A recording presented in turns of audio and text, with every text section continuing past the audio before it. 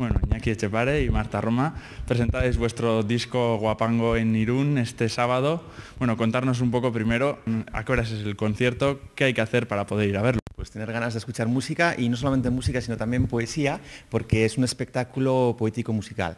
Mezclamos la música de Boquerini con Miguel Hernández y después la música de Samuel Maynés, que es un compositor actual mexicano eh, de música tradicional, eh, mezclada con el poeta eh, cubano Nicolás Guillén. Y el concierto es en, La Maya, ¿no? El Centro Cultural La Maya. En el Amaya el sábado a las 8 de la noche.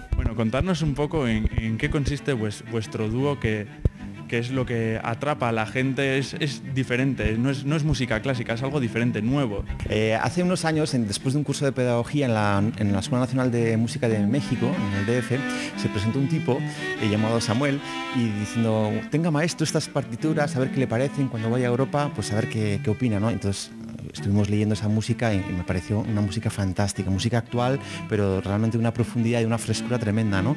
Música latina eh, y finalmente, bueno, le dijimos, Samuel, esto es una maravilla, lo, que, vamos a tocar, lo vamos a preparar, lo vamos a mezclar, vamos a hacer un espectáculo y te vamos a grabar un disco. Y así lo hicimos, hicimos un, disco en el cual se puede escuchar el audio, se, pueden, eh, ver, se puede ver un videoclip rodado en México, eh, por el hermano de Marta, por Guillem. Y eh, también en la particularidad de este disco es que están las 12 partituras de lo que tocamos. Es decir, los 12 manuscritos lo pones en el ordenador, lo puedes imprimir y es una forma de, divulgar la, música, ¿no? la, música escrita.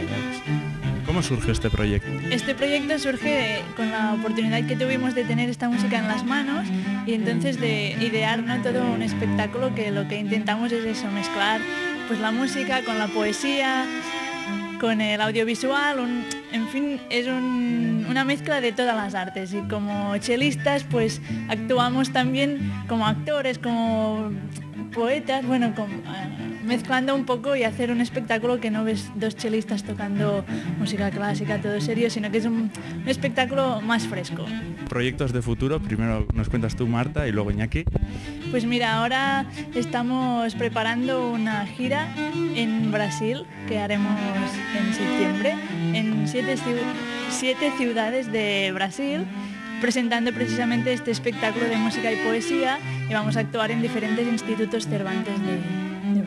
Iñaki, no sé si quieres añadir algo más. Sí, bueno, aparte de, estos conciertos organizados por el Instituto Cervantes de estos países en Brasil, exactamente, eh, vamos a tener la posibilidad también de eh, grabar o empezar los indicios de una nueva obra de este compositor para dos violonchelos y orquesta. Y hoy mismo nos ha llegado un mail desde Curitiba para hacer una posibilidad de, presentación con una orquesta de allá. Veremos si el tema va adelante, pero es uno de los proyectos que nos tiene realmente atrapados el, hecho de grabar este este concierto, este tríptico a México para dos violonchelos y orquesta. Será muy divertido, seguro.